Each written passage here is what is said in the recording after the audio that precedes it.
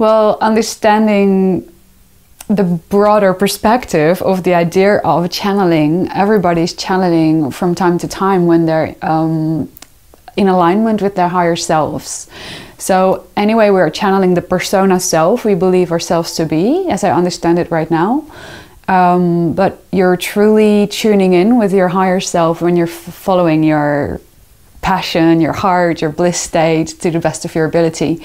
And um, yeah, that's a state that you see, for instance, when a dancer is in a dance and fully engaged in that, or an artist is painting a painting and they forget all notion of time.